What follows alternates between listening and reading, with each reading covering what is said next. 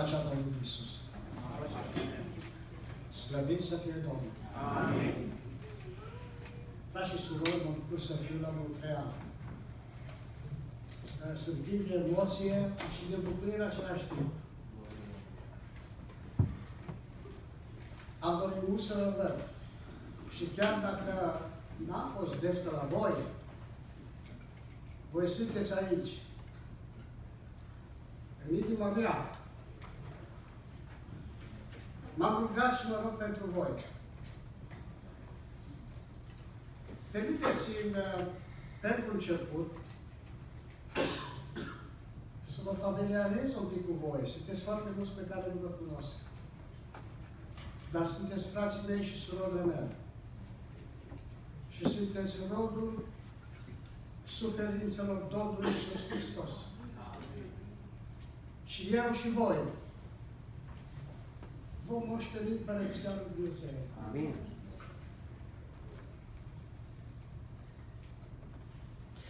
Câteodată bucuria se manifestă și prin lacrimi.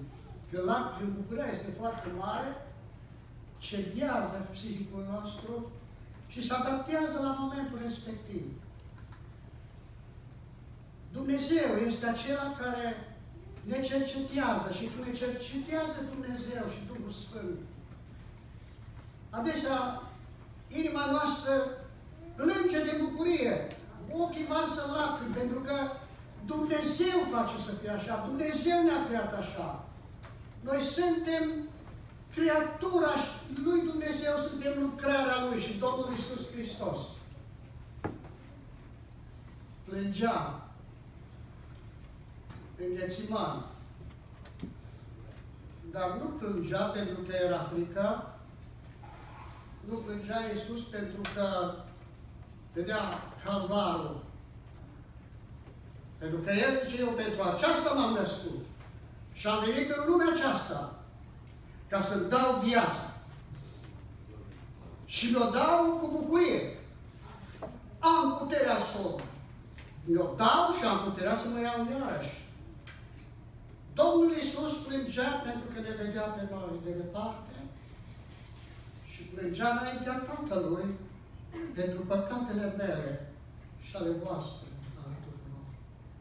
a plâns pentru noi.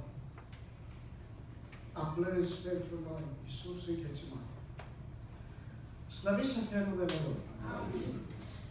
Dați-mi voie să, pentru început, să-mi să, să vă aduc un salut de la biserica din, din Detroit. Uite, cu ajutorul Domnului, așa cum le spuneam fraților, am slujit și slujesc și de bucurăm de frați de 21 de ani.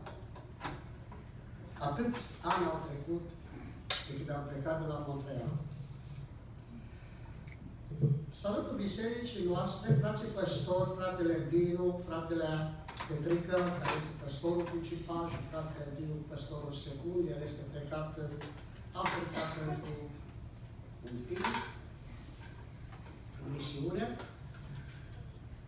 Vă salut pe știa de venirea mea și azi să le spun la frate la Montreal, salutul nostru și în mod special fratele Iosif Feher, care este un păstor binecuvântat de Domnul și foarte bine cunoscut în bisericile din America, între păstorii din America, unde adesea cu lucrătorii și păstorii, frații se întâlnesc.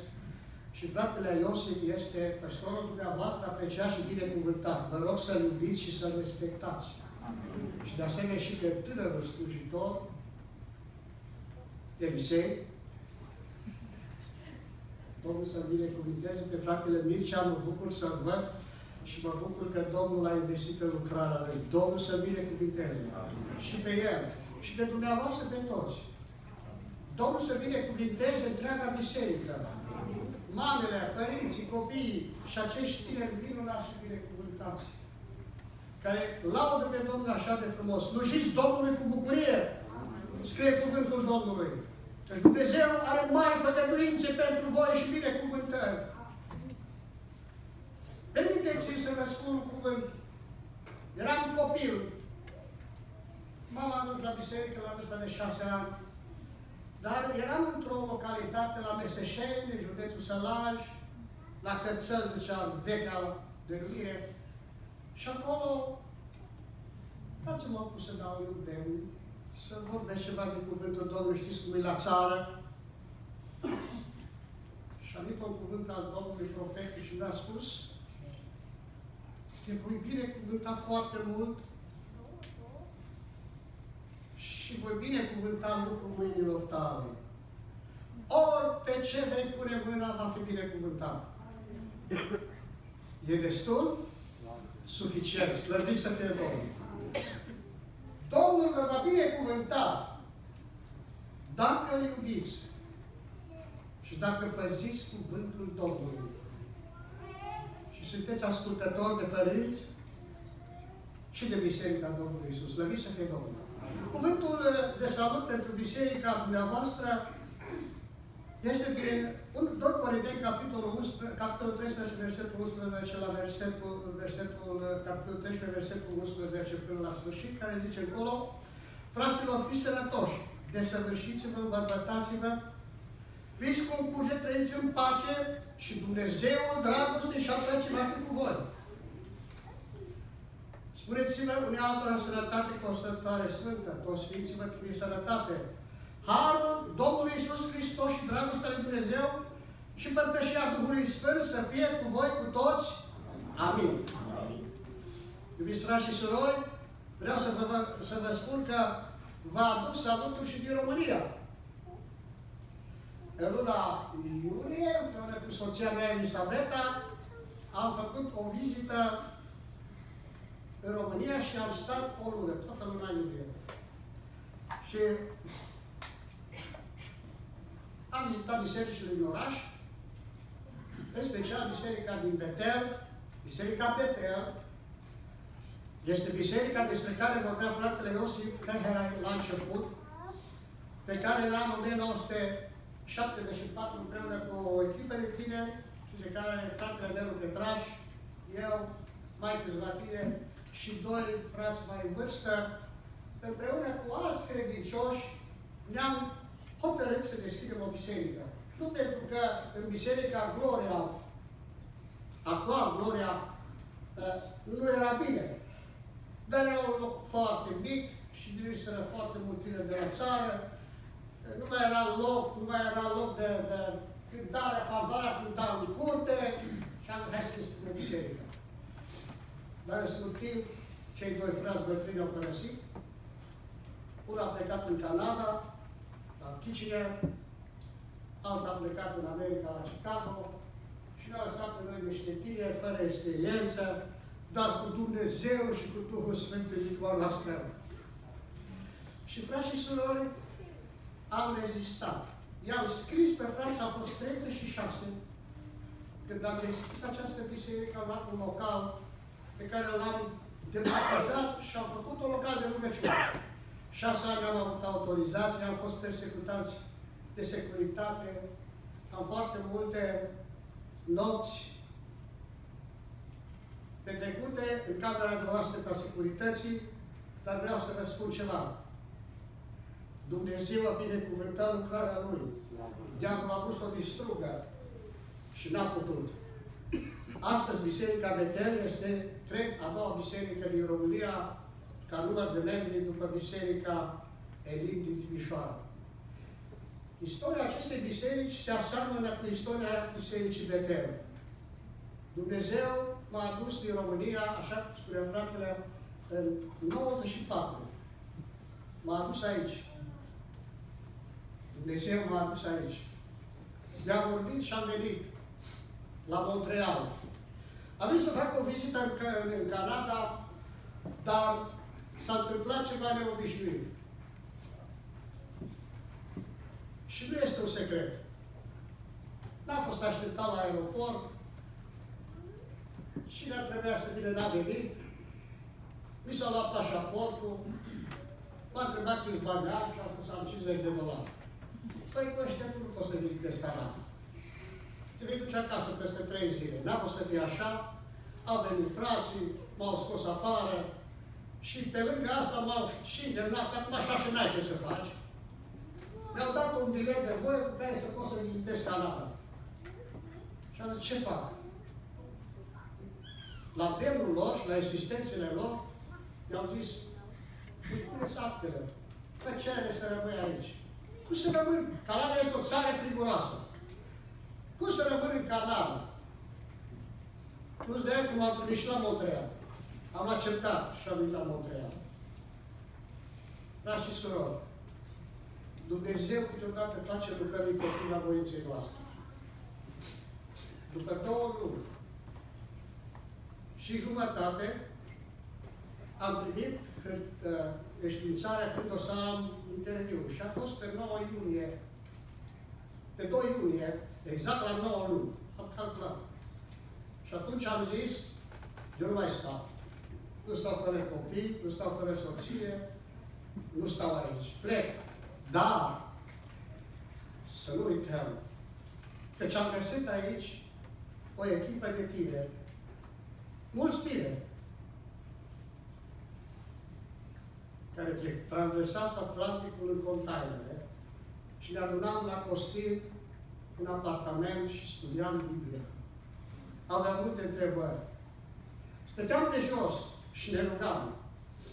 Domnul ne cerceta prin Duhul Său cel Sfânt. Și le-a spus, dragi tineri, trebuie să ne Sfânt. Și fratele Mircea era acolo, și alții erau acolo. Și a spus, cum să pleci, frate Valer, acasă? Trebuie să plec. În sfârșit, m-au îndemnat să pun înaintea Domnului și am pus noi înaintea Domnului lucrarea aceasta și Domnul mi-a spus, locul lui este acolo. Și atunci am zis, Doamne, dacă nu mă las să plec, atunci te rog să-mi aduc soția și copiii. Soția și fetele. Ne-am rugat împreună. Și într-o zi Dumnezeu ne-a răspuns la rugăciune și ne-a spus, ți-am ascultat rugăciunea. Și în aceeași toamnă, te amintesc de fratele Vasile, Ionor, care mi-a spus, frate Valer, vine sora, zic, vine, cu fetele, cu fetele, când? Până la anul nou. De Revelion face Revelionul la Montreal. Cineva după aia mi-a spus, fratele ăsta săracul de atâta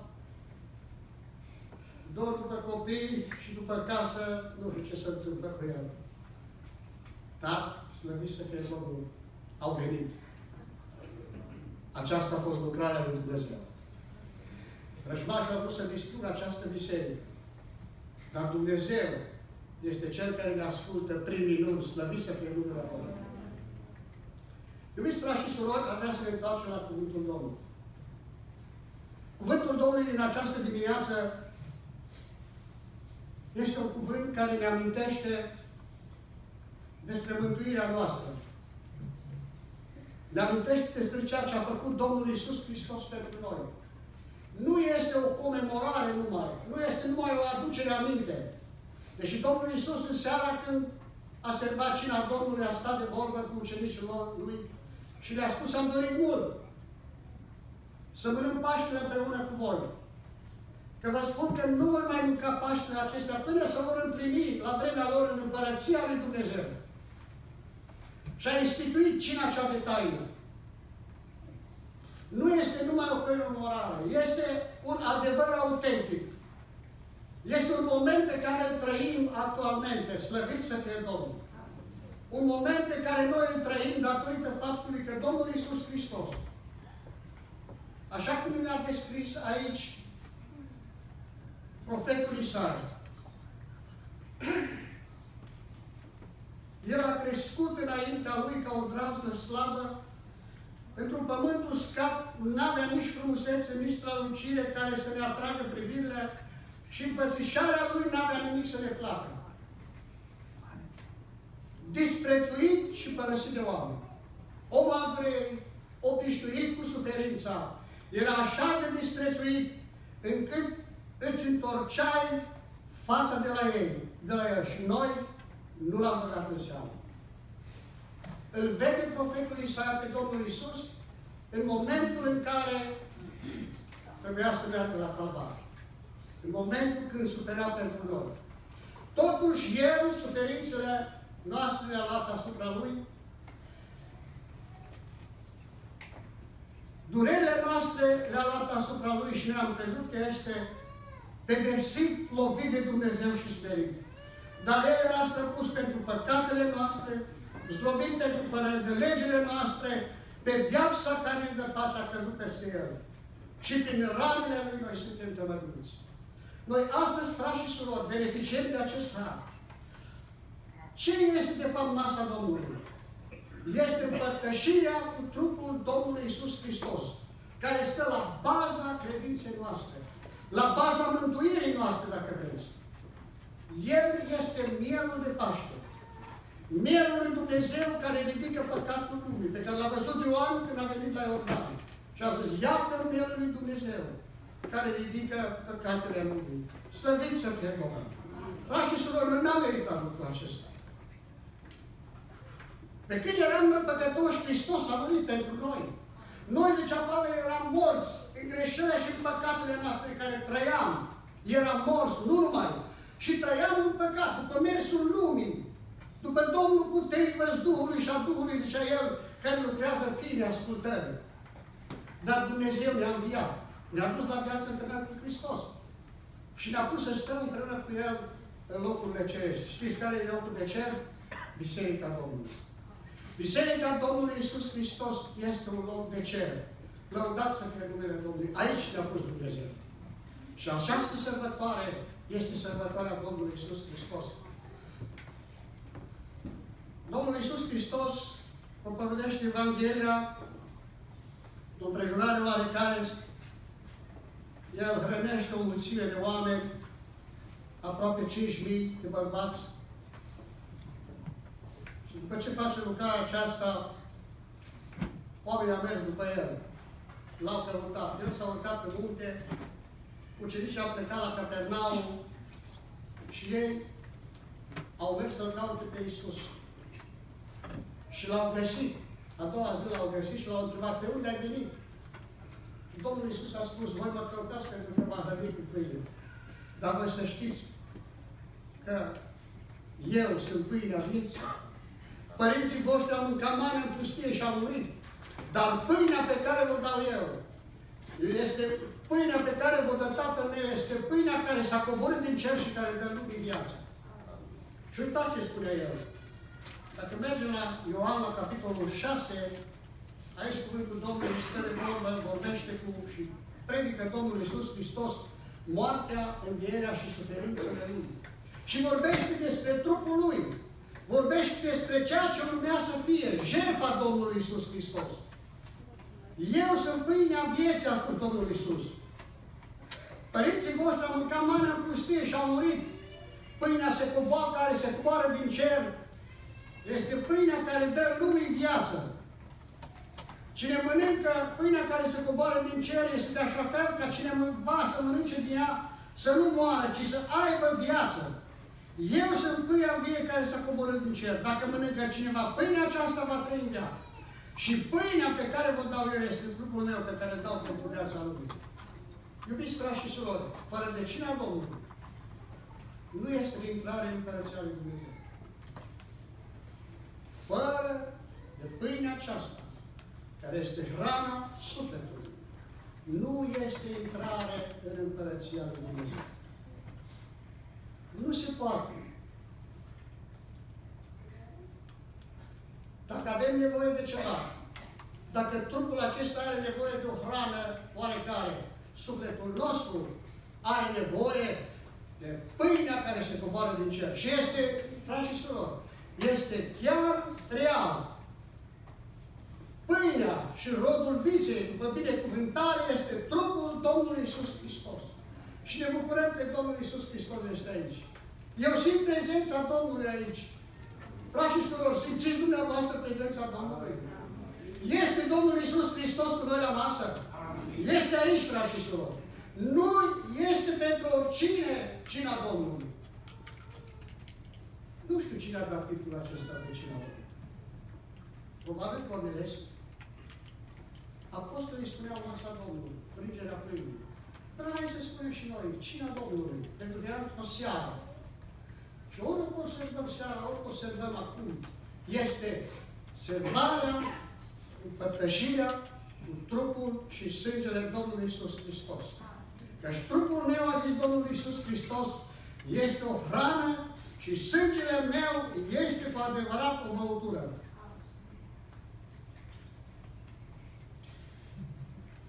Adevărat, adevărat vă spun că trupul Fiului, că dacă nu mâncați trupul Fiului omului și dacă nu beți sângele Lui, nu aveți viață în voi înșivă.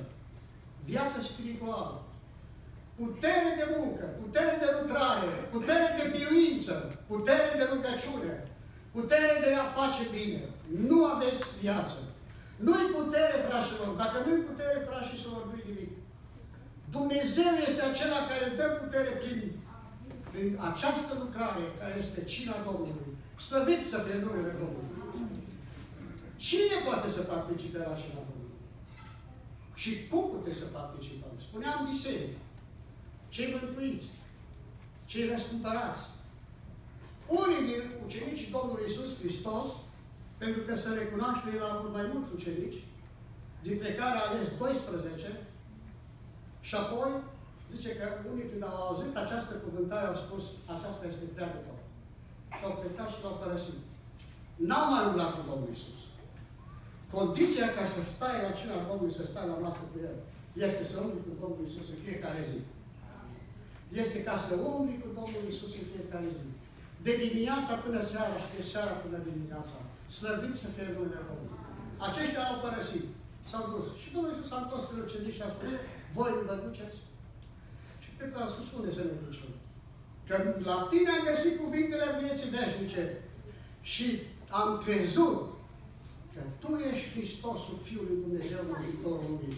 Lăudați să fie numele Domnului. Ți-a descoperit Dumnezeu că Iisus Hristos este Mântuitorul Lumii și Mântuitorul tău și al meu personal.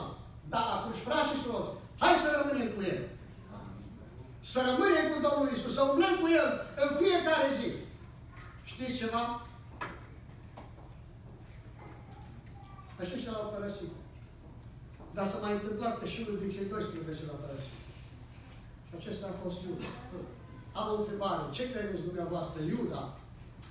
Iuda a fost rânduit special să-L vândă pe Domnul Isus ca să fie răstignit? Nu. Domnul Isus Hristos, eu am ales. Eu am ales pe toți și totuși unul dintre voi este un drac. Omul acesta scrie un cuvânt în Scriptură, nu mai știu care evanghelist, spune că Iuda s-a făcut vânzător. Știți când? Când o venit satana la el și gândul lui a adus gândul acesta de a vine pe Domnul Isus. Gândul lăcomire. Gândul să-L vândă pe Mântuitorul. Atenție la gândul. De aceea, cum participăm la cina Domnului? Frați și surori, cina Domnului, ori te o sândești, ori te mântuiești. Două lucruri se întâmplă una. De aceea, zice Apostolul Pavel, fiecare să se cerceteze pe sine însuși și așa să mănânce. Cu pâinea aceasta să bea din paharul acesta. Că cine mănâncă și bea în timp de vreme, mănâncă și bea o sânda lui, dacă nu te o să dea și trupul Domnului. Care este, care este motivul care este cercetarea? Să te cercetezi. Chipul nevremii este a nu te cerceta. Să vii înaintea Domnului cu căință, cu pocăință. El este credincios, dar ne mărturisim păcatul, este credincios ca să ne ierte. Dar să mai face. Lucrul acesta e cerut de Dumnezeu. Uitați ce spunea, ce spunea Apostolul Pavel la Evrei, capitolul 10, stă acolo scris un cuvânt, și aș vrea să citesc cuvântul acesta, capitolul 10, versetul 22. Să ne apropiem cu o inimă curată, cu credință de plină, cu inimile stropite de un cuget rău și cu trupul spălat cu apă curată. Așa să ne apropiem de cineva. Să ne apropiem cu credință că este trupul și sângele Domnului Isus Hristos. Cu credință de plină cu inimile stropite și curățite de un cuget rău. De un cuget rău. Dacă vezi, de un gând rău. De un gând rău. Nimeni n-a zis Dumnezeu să nu gândească rău împotriva fratelui său. Gândul rău. Răul de la cel rău vine. Să nu acceptați gândul acesta, niciodată! Niciodată! Ne-a fost chemat să moștenim binecuvântarea, de aceea să binecuvântăm. În fiecare zi să binecuvântăm.